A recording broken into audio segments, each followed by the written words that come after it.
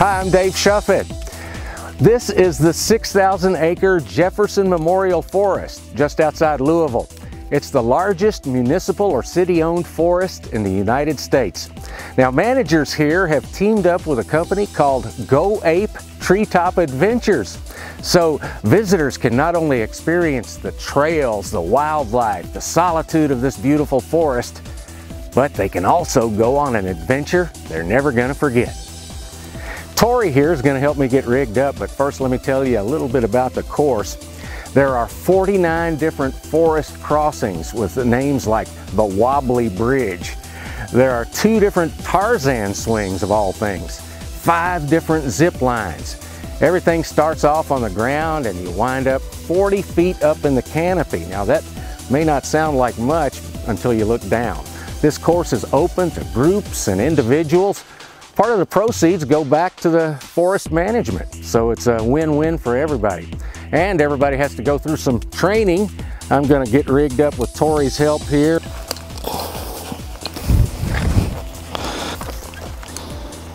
Now I feel really constricted. Ready? There you go. Okay. I've just completed my training and I'm at the first station ready to go up this uh, long rope ladder to a station that has planks you gotta walk across. Uh, so it's gonna be something. I'm also gonna put on this GoPro so you can see my perspective. So here we go.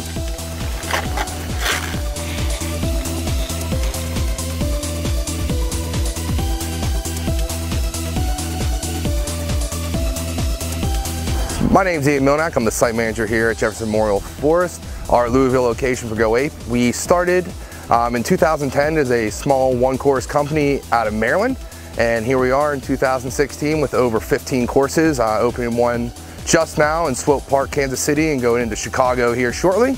Uh, last year, the last course to open, newest of the 2015 season, was right here at Jefferson Memorial Forest, so our good old Louisville location. We're happy to be here. We love having people come out, get up in the trees with us. There's a beautiful canopy. Uh, you know, we zip line over a nice ravine, so you can get a little height there uh, really, really enjoy the adventure that you have out here. We encourage everyone to come out, live life adventurously, and enjoy us out here.